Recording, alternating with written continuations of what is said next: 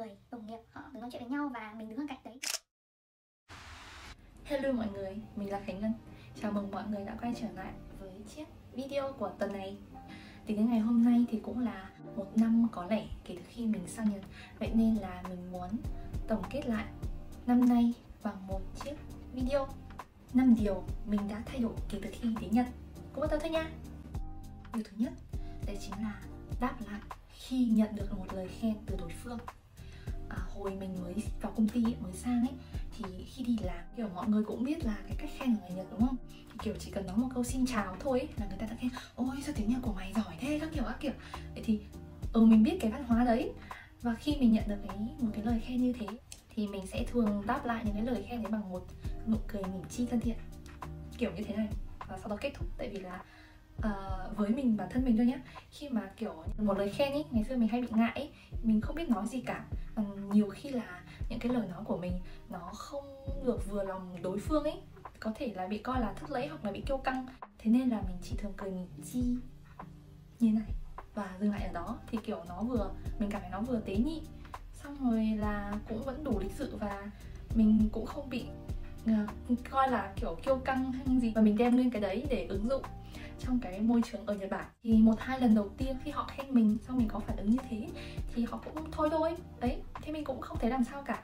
Cho đến một ngày khi mà hai người đồng nghiệp họ đứng nói chuyện với nhau và mình đứng ở cạnh đấy, thì họ cũng biết là mình đứng ở đấy và họ cũng nói to rõ ràng lên giống kiểu là để cho mình nghe và mình biết để sửa đổi ấy, là ô, con bé này khi mà khen nó thì nó không có phản ứng gì nhỉ.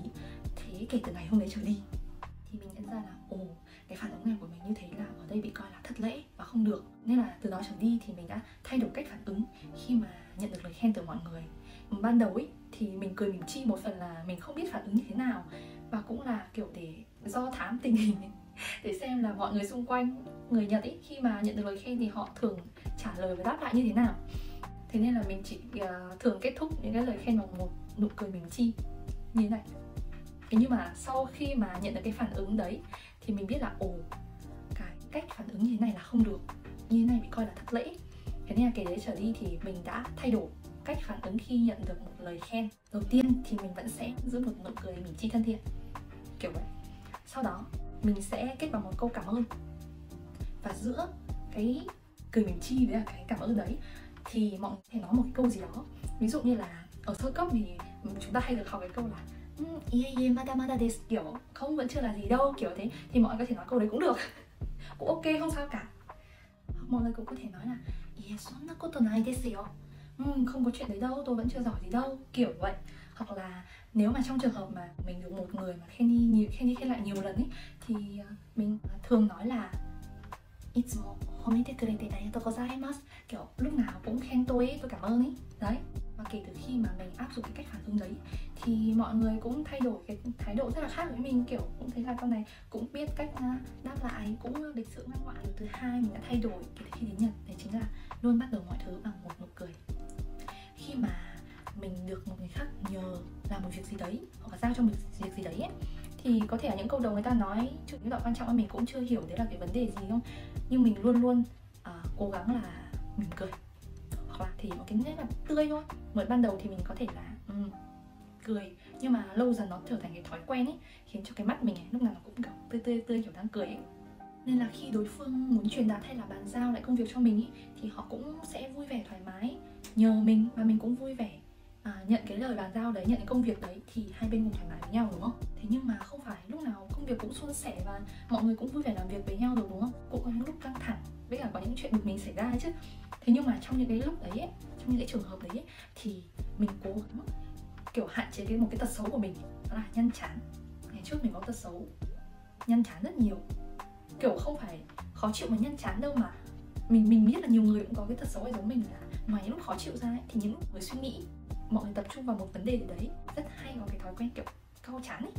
Thì với người nhật đấy là một cái thói quen kiểu đang khó chịu với cả đang rất là bực bội và điều này có thể gây cái ấn tượng không tốt.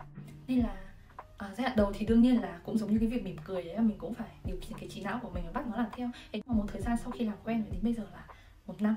Ừ. thì cái đấy của mình gần như là nó diễn ra một cách tự nhiên rồi. Nhưng mà khi mà uh, tiếp xúc giữa những người Việt với nhau ấy thì mình cũng vẫn có cái thói quen nhăn chặn cho nên là mình sẽ cố gắng um, thay đổi nó và điều thứ ba đấy chính là chăm chỉ nói lời khen, lời cảm ơn và lời xin lỗi.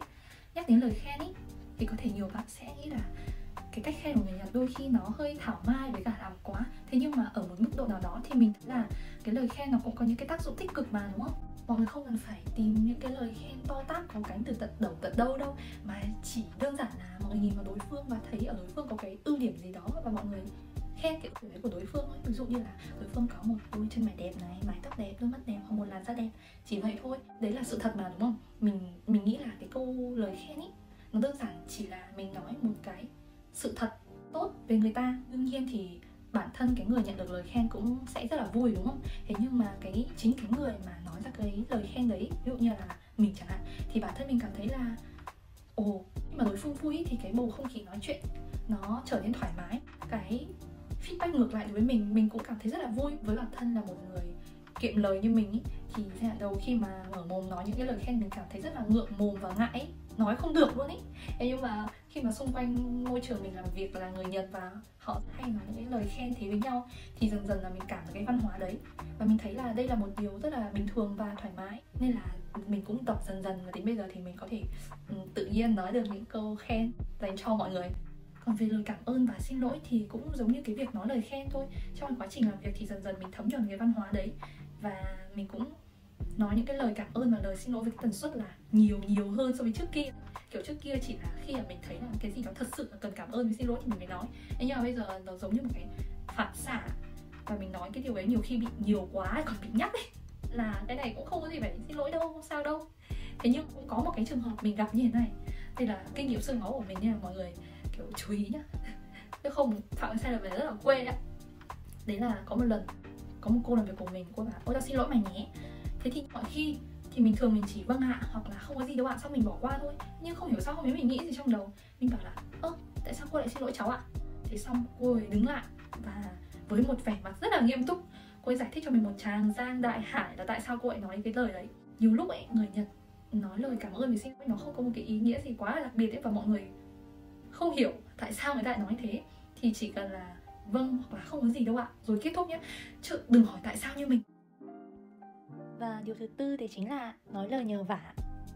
Chính vì cái suy nghĩ là mình sẽ cố gắng hết sức để hoàn thành cái công việc của mình một cách thật tốt và không gây ảnh hưởng đến mọi người thì ngược lại nó sẽ làm cái tiến độ công việc nó bị chậm đi và những cái người có công việc liên quan đến chúng ta ấy cũng sẽ bị ảnh hưởng chính vì vậy trong những cái trường hợp đấy mình nghĩ là mọi người nên nhanh chóng mở lời để nhận được sự giúp đỡ.